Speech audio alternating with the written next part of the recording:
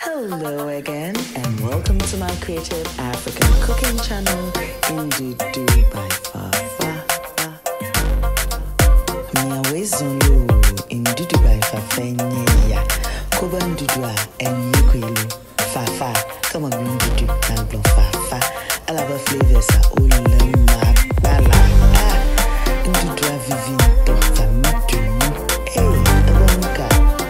Hello, everyone, and thank you for tuning in for another experience with Fafa.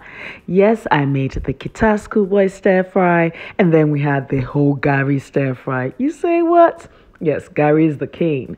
Now, I can't forget Shito, which is the Ghanaian black chili sauce. Now, if you've not heard of that, I don't even know where you've been hiding. Anyway, I'll leave a link in the description box below so you can emulate how to make yours. It's incredible, flavor packed, and it's an essential condiment that one should keep in their store cupboard, particularly in this day and age, if you know what I mean. Gari and Shito has saved one's life. Oh, Charlie. Yeah, please share your boarding school days. Just share some memories down by leaving your comments below. Anyway, by now you should know how to fry some eggs. If you don't, me, okay, so you need to watch the previous video and I went into detail about that.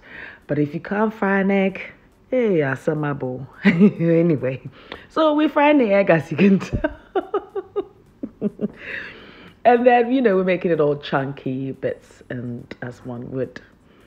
Now, next thing is I've got my Gari. Now, I don't even know when I'm going to get, you know, my supply of Gari again. So, Charlie, economics is happening here. So, I've drizzled with a little bit of water as one does. And then I'm just going to add a teaspoonful of my black chili sauce known as Shito.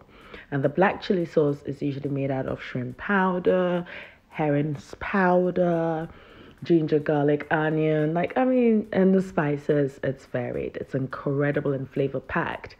And guess what? I mixed everything together. For that additional protein, as one does, I just added the remaining half of my fried egg from yesterday's recipe. Mm-hmm.